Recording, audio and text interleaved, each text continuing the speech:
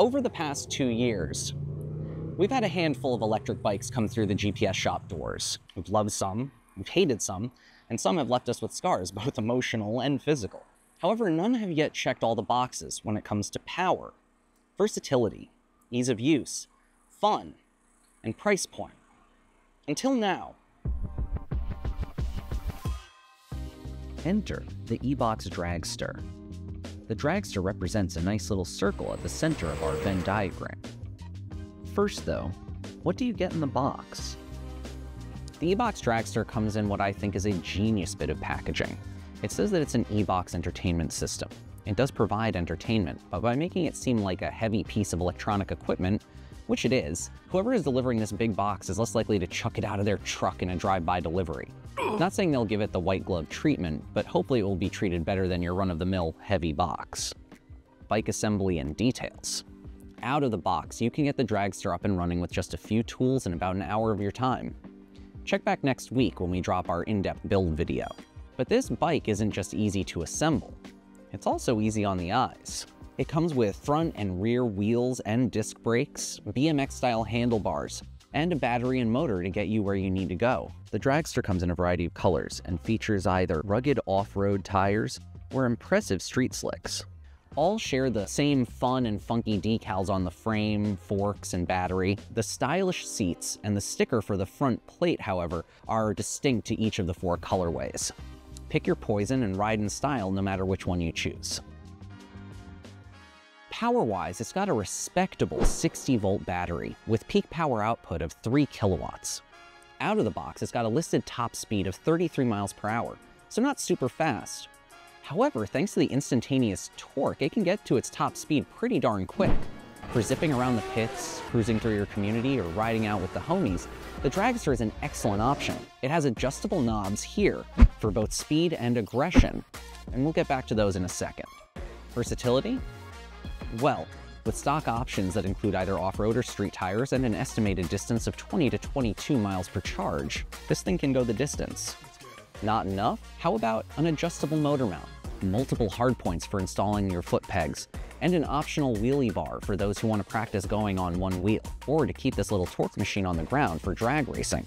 There are plenty of upgrade options available from Go Power Sports and others for everything from battery motor combos to upgraded front ends, Plus, you can charge your phone from the port right here. Nifty. The phone charger will drain your battery, but it also presents a lot of opportunity for further customization of your lights, GPS, speedometers, and filming your rides without fear of your camera dying too quickly. That's a lot of versatility and variety in a small frame. Ease of use. From getting components out of the box, it took us about one hour to put this baby together, and it was ready to ride, after about two to three hours to fully charge the battery pack. Now you can skip that step, but I wouldn't recommend it. Now, if you fully drain the battery, from our testing, it takes about five to six hours to get a full charge on the Dragster's battery. And that might be the main foible of the Dragster, and let's be honest, most electric vehicles. The charging times aren't designed for long haul trips. You can absolutely ride this over the meadow and through the woods, but you're gonna be hanging out at grandma's house for a few hours to make the return trip. But after those five to six hours, you've got a fully charged electric bundle of joy with only the flip of a few switches standing between you and electrified two-wheeled freedom. Which brings us back to these guys right here. These adjustable switches for speed and aggressiveness. These are great for getting used to riding this bike and for adjusting the ride for young or inexperienced riders. Now, our recommendation at Go Power Sports is to start all the way over at the left on one. You want this thing as low as possible so that you can get comfortable on the bike. Because even at one on both of these, it still takes off like fun. The E-Box Dragster is just plain fun. 10 out of 10, 5 stars would recommend to others, period. You won't be taking it down to the track and winning any drag races without some tuning and upgrading. And you don't need to. The Dragster stock out of the box represents a great time for anyone who chooses to straddle the saddle. Just check out the cottage industry of eBox dragster riding footage, wheelie practice, and upgrades on YouTube and TikTok. If that's not enough positive attention from strangers on the internet, how about a few more glowing reviews? It's fun. It's fun. It's fun.